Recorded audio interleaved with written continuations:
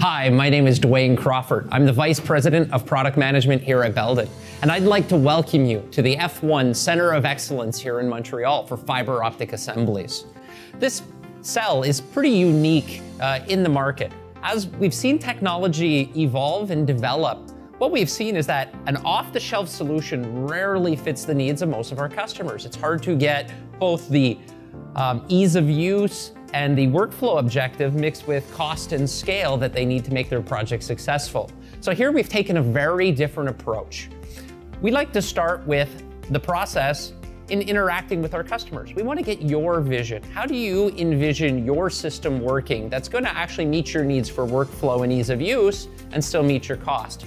So we'd like to have our customers come down and meet with us, meet with our engineers and our production specialists. From there, we're gonna work through a design concept with you that meets those needs.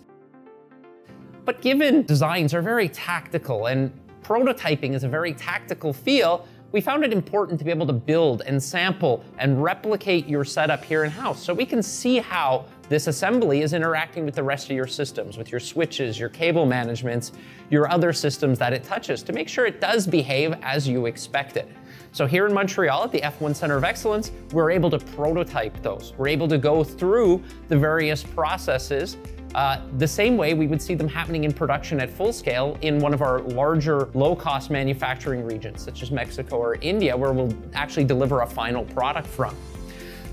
So as we go through this process, we're gonna work through some of those different parts of the process in production and show you what some of the challenges are and what some of the options are, some of the techniques you may be able to leverage in achieving your vision, your goals.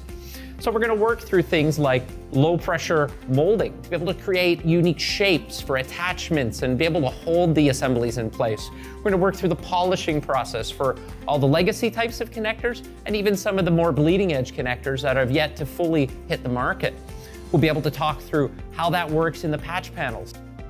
So working through the 3D printing process, leveraging 3D printing so we can create unique cable management options, ways to hold the assembly, ways for the assembly to attach to the switch, and then move that off into production when we're ready, once you're comfortable with the design and the solution you've chosen. As you've seen, customized solutions are well within reach to deliver your vision utilizing Belden's unique approach. We look forward to talk to you further about your specific needs. Please contact us at www.belden.com forward slash support.